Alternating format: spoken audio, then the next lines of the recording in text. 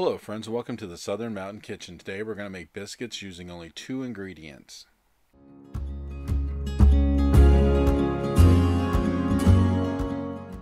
So when you look at my counter today, if you've seen any of my other videos, it's always loaded with ingredients and we literally have two things we're using. Some self-rising flour and some heavy cream. And that's what we're going to use to make these biscuits. So go ahead and preheat your ovens to 425 degrees because these are going to have to bake for at least 20 minutes until they're golden brown until they're done. So we're going to start off with our self-rising flour and what you want to do is take a whisk and fluff it up because we want to add some air to this flour because if it's really dense really packed um, it's not going to bake up very well. So the more you stir it up, the more air you add into it, the better it's going to bake. And I know that sounds a little crazy, but it is true. You have to just mix it up with your whisk, get it light and fluffy, and that's just going to make it all the better when you go to make these. So probably you could stir this around for about a minute or two and you'll be pretty good to go. Then to this, we are going to add our heavy cream. Now, you're going to go and put part of this in at a time and then mix it up a little and add some more probably. It'd be easier to manage. You're going to use a cup and a quarter to a cup and a half of heavy cream. Now, what you want to do is get a consistency to where it stiffens up, but it's not too hard, and you don't want it too runny and wet. It's kind of middle of the road. But also, when you're mixing this up, you just want to mix it together. You don't want to push on the flour too much. You don't want to knock out all the air that you've already put into it. So stir it up, get it a little wet, and then go ahead and add in more of your heavy cream. Now, I'd say use a cup and a quarter at first to see how much absorbs into this. And if you need more, you can add it later after you mix this up a bit. But the whole idea is to get this to a point to where all the flour is sticking together in like a lump.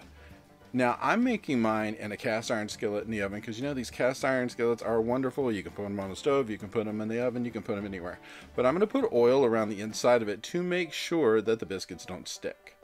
Now you can do this on a regular pan if you want to, if you want to use parchment paper or whatever to bake them. It's perfectly fine. It's still the same, the baking time, temperature, and everything else.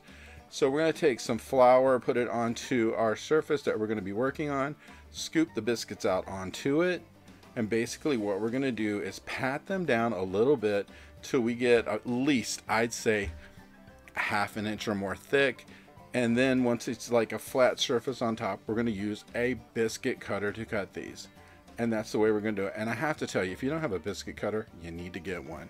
Especially if you like biscuits, it makes life so much easier to use one of these. And they really don't cost that much, so you know, check out your local store. I think mine came from Walmart or someplace like that. Um, they're really just not that expensive. So anyway, once your dough has been patted out, we're just going to take the cutter and cut the biscuits and pull them to the side. And then when you get them all cut, we're going to put them on whatever surface you're baking. Like I said, I'm using a cast iron skillet. And once you get them up and set to the side, then once they're all cut, you put them in. And we're going to pop these in the oven once our temperature is up in the oven. You want that oven hot before you put these in. And like I said, about 425 degrees, at least 20 or so minutes until they start to brown and they're to look something like this. Then you're to take some butter. Just get a stick, peel the paper back on the end of it and go over top of each one of these like maybe twice because they're hot and they're to have the butter melt and come down on top of them and this is to give such a great taste to it just to give it butter now yeah, you're to say oh that's a third ingredient nope you don't have to do the butter. I'm just saying it's something you can do. You don't have to. Otherwise you had biscuits before that butter ever got there.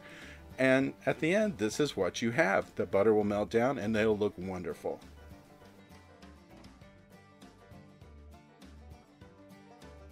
So if you're looking for something that's really like fluffy biscuit that tastes really great, this is it. It's so easy, two ingredients, you cannot go wrong. It's so quick to make. I hope you liked this video. If you did, please like and subscribe. And if you get a chance, check out my cookbooks, which are available in bookstores worldwide. The first is about everyday cooking. The second is all about baking. Have a great day.